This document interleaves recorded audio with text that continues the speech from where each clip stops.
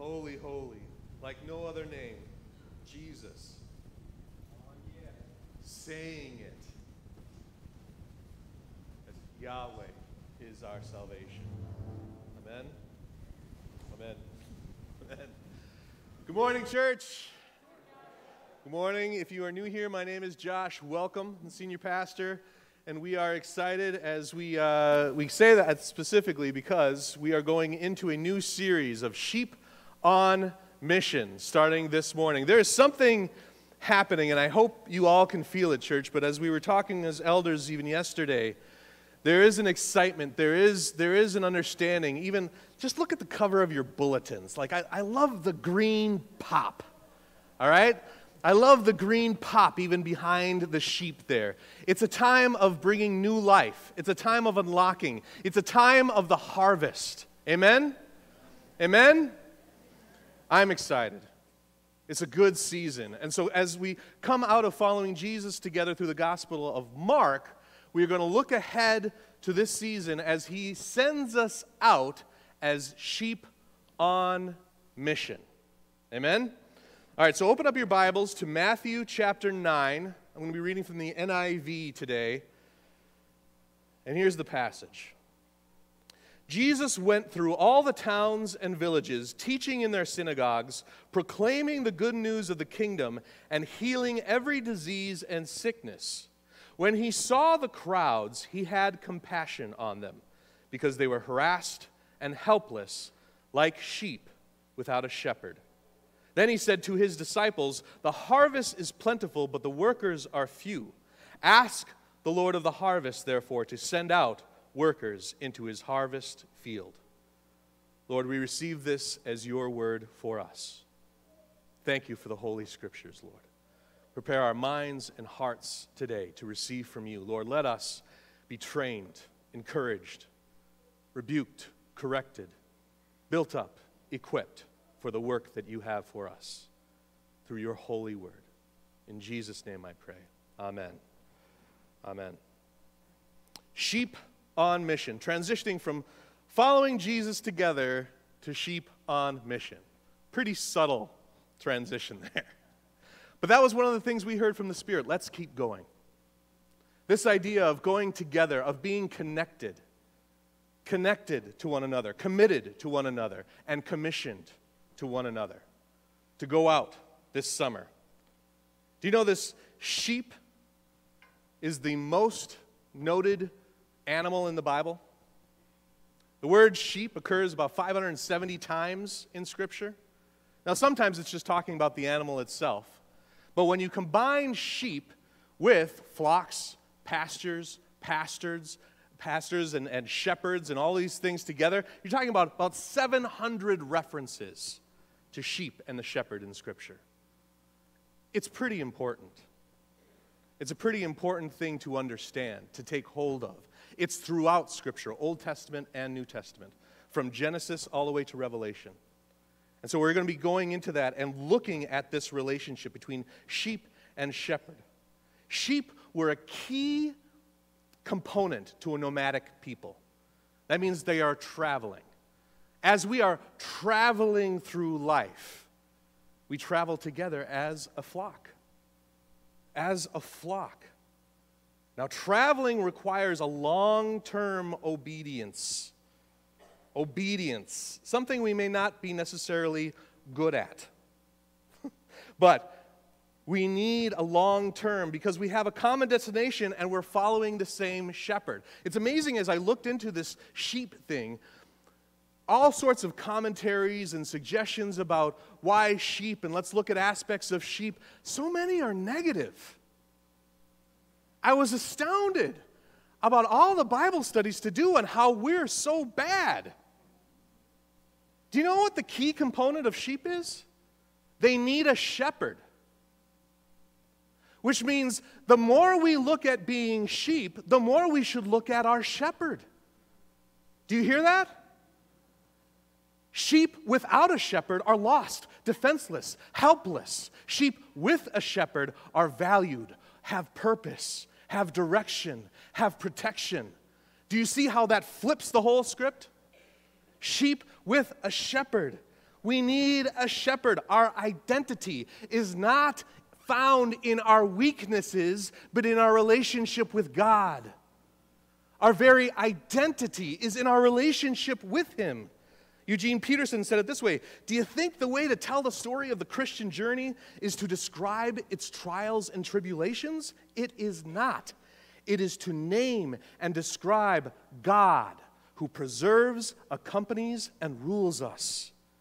Our identity as sheep starts with Lord, have mercy.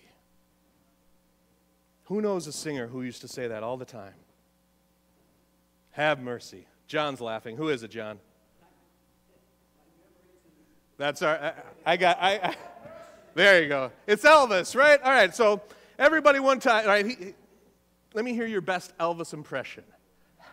Lord, have mercy. Ready? One, two, three. Lord, have mercy. Does he have any idea what he was talking about? Have mercy. We are not perfect. I got news for you, church. The world is not perfect. Is our message fix it? Get yourself fixed? We better be fixed, or the world has no hope? No. It's have mercy. Have mercy. Can anybody think of people who hurt each other out there? Anybody think who's are there people out there in your lives who don't have direction? Anybody in your families who's disobedient? Lord, have mercy. Lord, have mercy. Because of the Lord's great love, we are not consumed. His compassions never fail. They are new every morning. Great is your faithfulness, I say to myself. The Lord is my portion. Therefore, I will wait for him. His mercies are new every morning. This is from Lamentations. Every morning, every morning, this, this need for mercy.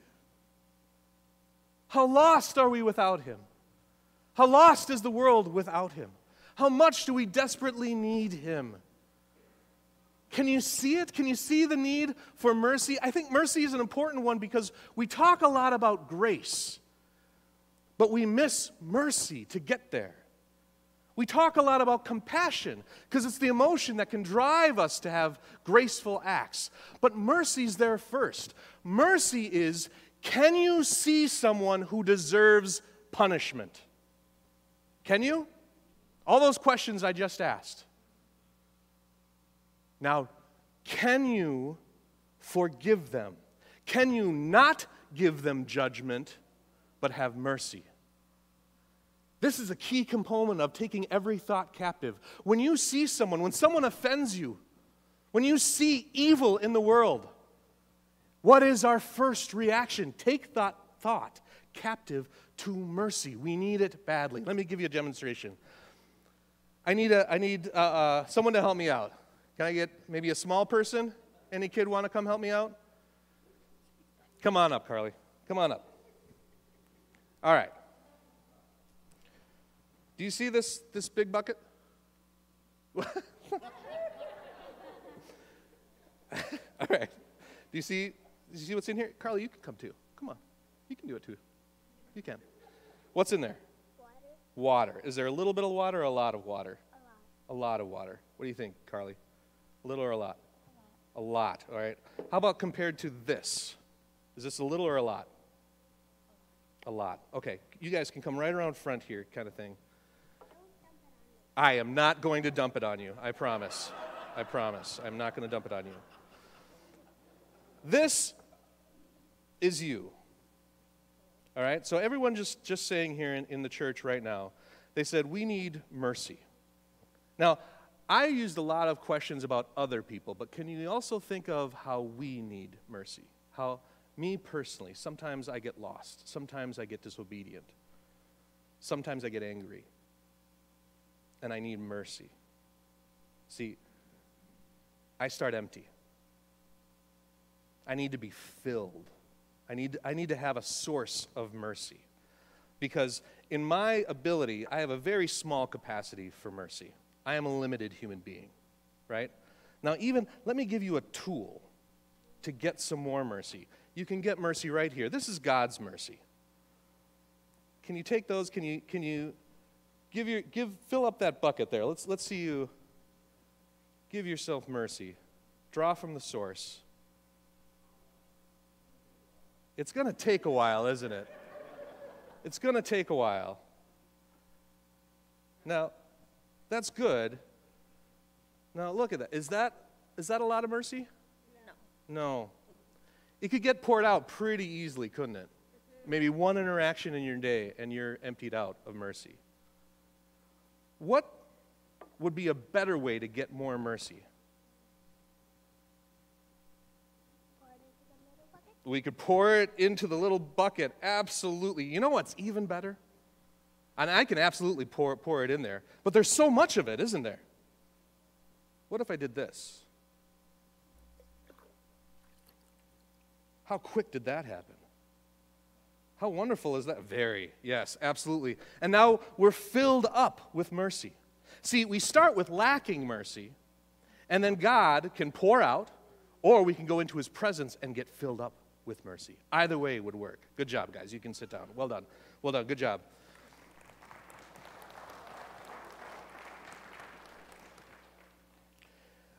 His mercy is new every morning, and He provides for us. See, first we recognize the need, and then we meet the one. Look at Jesus here. He went through all the towns and villages, teaching in their synagogues, proclaiming the good news of the kingdom, healing every disease and sickness. When he saw the crowds, he had compassion on them. Synagogues, that's the community center where they, they, stu- they studied the Word of God the towns, the villages, everywhere he went, he saw people who needed mercy, who were off track, who did not have a shepherd. This is the creator of the universe. His first thought could have been this is exactly what they deserve. But it wasn't. Instead, it says he had compassion on them because they were harassed and helpless like sheep without a shepherd. The provision of the shepherd. Have you ever seen those shots of sheep that go without a shepherd for too long? I'm doing this because they're just covered in wool. So much so that sometimes they can't move. There are stories of sheep being found in gutters on their backs, they can't move, of being shorn 70 pounds worth of wool taken off of them without a shepherd and you see them, the life that it gives to them. Look at that. The difference, the burden of not having a shepherd and then being freed under the gift of shepherded, shepherding. His mercies are new every morning, the provision of a shepherd. And we have this good shepherd here. Because our first instinct is just to follow those around us, right? That's really easy to do. Just follow us around us. So the, the, the, sheep could try to get instincts from the inside, but you saw that just off on their own. They just get burdened down. And sometimes they follow each other. Here's a wonderful news story. In eastern Turkey, about 1,500 sheep who were left unattended fell off a cliff. Fell off a cliff while the shepherds were eating breakfast. The first 400 fell to their death. The remaining 1,100 were saved because the first 400 broke their fall. they just kept on following those around them, even when it led to destruction. Without a shepherd, they just follow those around them, even if the one before went off a cliff. It's that's where I'm supposed to go. How many people here have had their parents tell them, if your friend told you to jump off a cliff, would you? We do. Without a shepherd, we will follow the crowd right off a cliff. This is humanity. This is reality. In fact, what they found happened when studying sheep, it says the sheep in back couldn't see past the sheep in front, so they were unaware of what was ahead. The sheep in front couldn't stop because the sheep in back were pushing them forward. Once you get to the edge of the cliff, sometimes there's no option unless a shepherd comes to rescue us. Shepherds knew every morning. And from the beginning, do you know? If I would have said this, it would have been bad. But I could have said that this was a, a sermon about the oldest profession. In the Bible, the oldest profession is pastoring. Genesis 4 2. The oldest profession mentioned, the oldest vocation, what we could do with our lives, is pastoring. To be a pastor, to be a, a shepherd. In Genesis 4 2, it's mentioned. It's all the way through, and even some of the promises of the Old Testament I will provide pastors, shepherds for my people. Moses wasn't a prophet first, he had training in shepherding. David wasn't a king first, he had training in shepherding. This is an important part of it that we not only see the Good Shepherd, but we take on those attributes. Being a shepherd, I am so thankful that through the seasons of my life, I have been provided with shepherds. Now, in my whole life, I, I don't remember a time that I didn't know Jesus was God and know him as a shepherd. But when I was young, I had my parents to shepherd me. When I first came back after a decade away and I did the internship, I had Steve and I had Jim to shepherd me there. As I went into pastoring and, and shepherding, I had others as well. And even in that transition, someone who is incredibly meaningful to me to this day. Because one of the beautiful things is not only being pastored, but being raised and matured, and some of these pastors then become friends. But in my transition from being an intern to being a full time minister, to all of the really difficult decisions like actually pursuing my wife, it was Jeff Sponsler who pastored me. And it meant the world to me, and still does. And now we're friends and brothers, as we were then. But we still get to be, this is the long obedience that I'm talking about, church.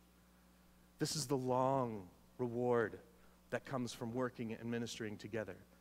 And now, as a senior pastor, and even occasionally pastoring other pastors, I still have Alan as my apostle, my friend, my covering. And I'm excited, church, because it's been too long since you have been able to hear from him. But he and his wife Betty are coming here at the end of May, on May 22nd, to be able to preach. And you'll hear from him. Yeah, you can applaud. I'm excited. He is my dear friend, and I talk to him weekly, but I'm excited for you to hear, to be encouraged by him as well. His mercies are new every morning, and he provides shepherds for us in every season of life. Then he said to his disciples, The harvest is plentiful, but the workers are few. Ask the Lord of the harvest, therefore, to send out workers into his harvest. Do you see this? Jesus goes right from having compassion on the crowds to sending out workers. See, first we recognize the need for a shepherd, then we meet the shepherd, and then we are fed and sent. So we had a need for mercy. We were filled with mercy. But now the question is will we be merciful? Will we be merciful? Just as Carly wanted to do with pouring the bucket and having it go, I could have overflowed it, couldn't I? That's exactly the design. That these are consistently just poured like this, constantly pouring in. I need three more helpers up here. Three more helpers. Come on up. Three more helpers. All right. Come right over here. Miss Amber's going to help you. I need one more helper. Miss Amber is, is going to be the, lead helper here. There we go. All right. All right. You guys are going to go right over here. You can help too. Come on up. Okay. So here's the thing. Here's the thing that I'm talking about. This, this seed of mercy that can then be planted, that mercy that poured out fills us up. I know I'm mixing metaphors. It's okay. So does Jesus here in this passage, right? So does the word, right? We're talking about shepherds and then we're talking about harvests here, okay? So this water poured out fills us up, but it also embeds something deep inside of us. There's the seed of the kingdom. There's a seed of the kingdom. Now, this seed of the kingdom is taken and planted in our life. And if it continues to get watered, it will grow. So, what they're going to do are, are take seeds from the sower and plant them in their lives. Now, you may know exactly how this works. I understand that. But sometimes it just takes doing something a little bit differently or saying some basic truths in a new way to really plant it deep. Amen? Don't move past mercy. Just focus on mercy this morning. The mercy of God to send a shepherd for us. So, as this seed is planted deeply, it still does need something else to grow, doesn't it? What does it need? Water. Water. So, where are we going to get the water from? What God has poured out onto us. All right? So, you guys take that. You can take your pipettes there. Well, you, can, you guys can share them. You guys can share them. Now, I had one, two helpers with the first one. Now look at the multiplication of this next one. And we have seeds for days, guys. We have so many seeds that could grow. See, when we come together as a flock, it multiplies exponentially the amount of effectiveness they have, that we have, the amount of mercy that can get poured out on this world. Does the world need mercy? Yes. So we need all hands on deck, church.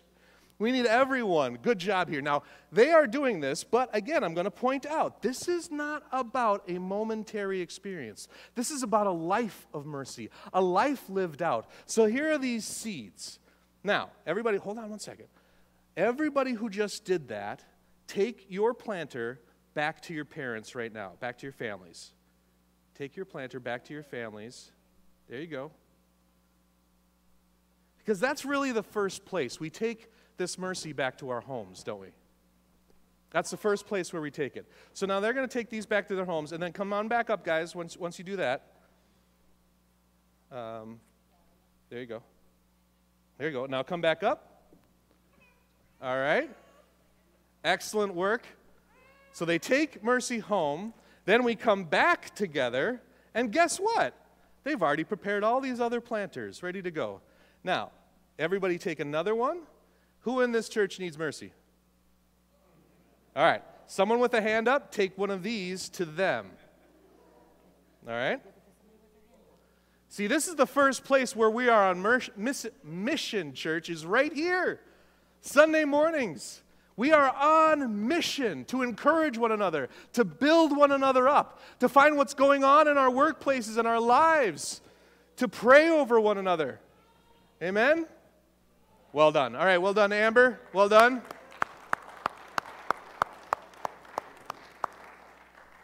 Seeing how he provides for that need reveals more of, oh, thank you very much. I do need mercy. Reveals of who he is, and then we grow in relationship with him. We're planting the seeds of the kingdom to grow long term. Now, I mean this. So, everyone, raise your hand if you have a planter now. Raise your hand. All right, it is May 1st. On June 1st, if you show me a picture of something growing in there, there will be a reward.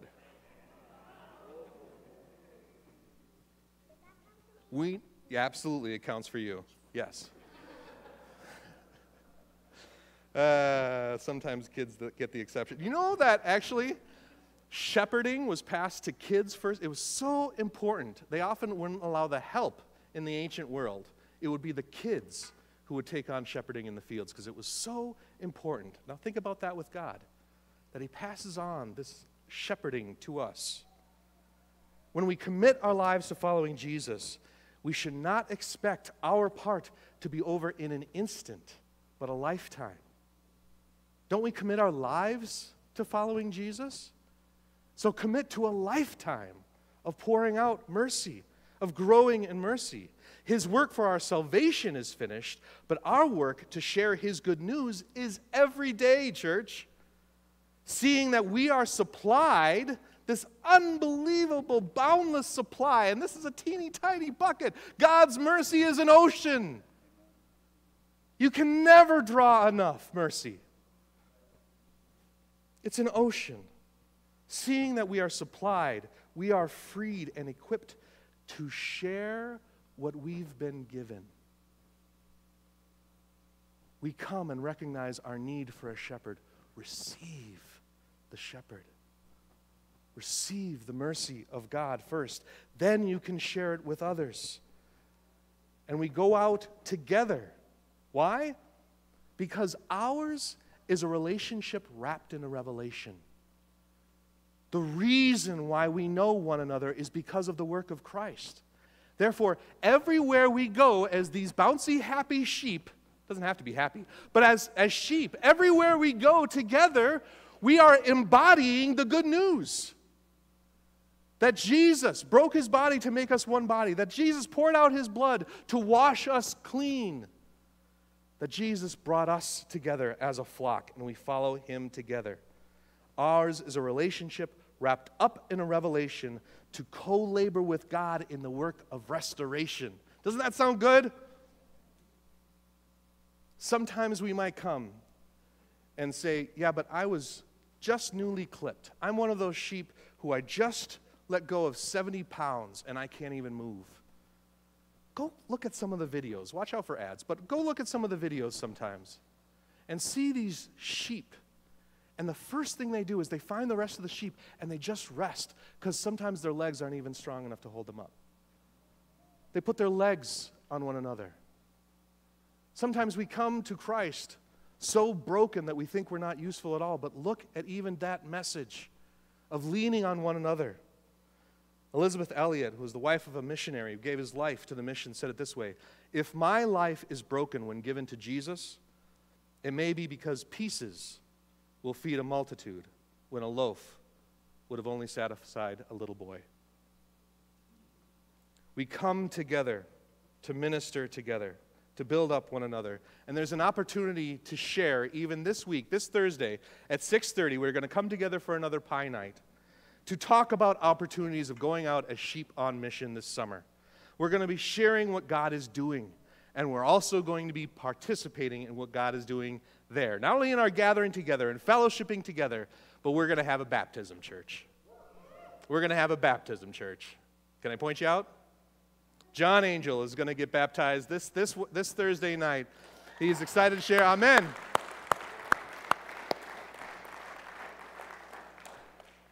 I'm excited for you to hear from him. Some of you, I'm sure, have met him already. But I want to say this as well. If you have not been baptized and confessed Jesus Christ as your Lord and Savior and gone under the water to be raised again to devote your life to Christ, talk to us. This Thursday, there's an opportunity to get baptized. But I am excited for this. But we are also then going to pray over those opportunities for the summer. So we are going to share what God is doing participate in God, what God is doing, and pray for what God is doing. Does that sound good? That's this Thursday night at 6:30. Next Sunday, let me give you another opportunity. Just in case you're boiling over with mercy right now. And you're like, "You know what? Maybe is there someone God that maybe I will never see in my lifetime who deserves mercy? Can I have an opportunity just to show mercy in a new way?" Yes. Next Sunday the Olhoffs are going to lead us in Compassion Sunday. Compassion is an opportunity to sponsor a child in need, to be fed, to see the crowds that are out there, and to have compassion on them. There's an opportunity next Sunday. I ask you to prayerfully consider sponsoring a child next Sunday. This journey we're on is important, church. We encounter the same world as everybody else. We're not immediately raptured into heaven. We still deal with gas prices, inflation, all of the troubles, trials, all of the winds and waves. We deal with all of that, but we have a kingdom perspective. As we engage with all these things, the world gets to see how faithful God is. As we speak with hope and optimism, because our eternity is secure, the world gets to hear what true hope and secured hope sounds like. Every moment we live out has purpose in exposing the reality of heaven on earth. We are in the midst of the same circumstances, but our relationships have been wrapped up in this revelation. We engage with a kingdom perspective with one another in covenant relationships. So we go out and we share the mercy of God. How do we do it? How do we do it? How do we do it, sheep? How can we possibly learn how to do this? Keep your eyes on the shepherd. Don't look anywhere else. Keep your eyes on the shepherd. Look at Jesus in this passage. As he was going, he saw the need as an opportunity to give mercy rather than judgment, to move with compassion and then pray. The world is not perfect. We are not perfect. We have a perfect calling from a good shepherd. Can we stand?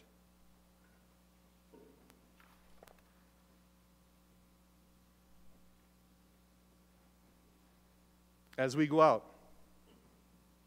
throughout this series, we are going to be looking at sheep on mission and seeing, first of all, recognizing our need for a shepherd, how the shepherd provides for that need, and then how we can share that provision with others.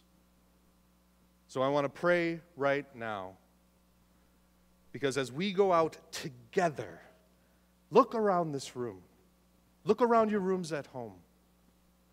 Everyone that God joins to you is meant to enhance your ministry.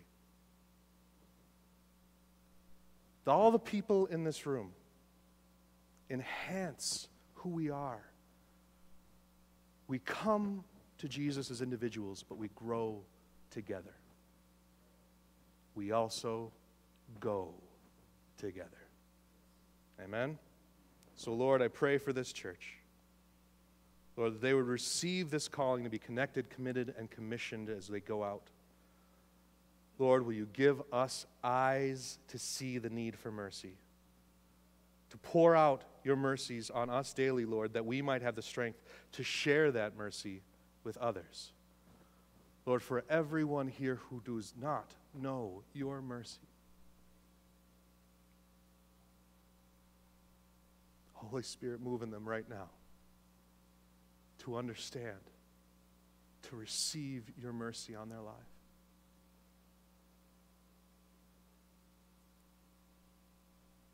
Lord, for this church. Will you bless them, build them, send them, and let us go together as we are led by you. In Jesus' name I pray. Amen. Amen. God bless you, church.